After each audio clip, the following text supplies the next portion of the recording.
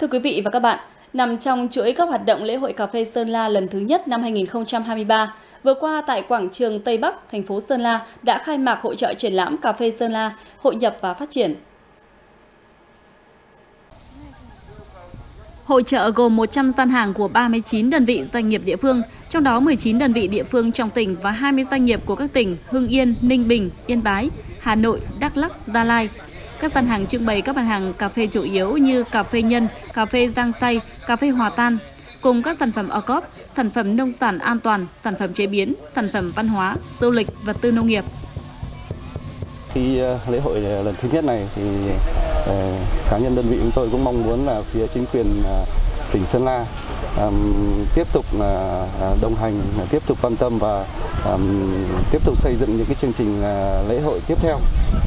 để thông qua đó là tạo điều kiện à, giúp cho doanh nghiệp cũng ờ, coi như là, cũng cũng như là việc giúp cho bà con trong à, thực hiện trong cái chuỗi liên kết giữa doanh nghiệp với bà con với với với với chính quyền để trong cái việc thúc đẩy phát triển thương mại dịch vụ, trong đó ngành hàng cà phê.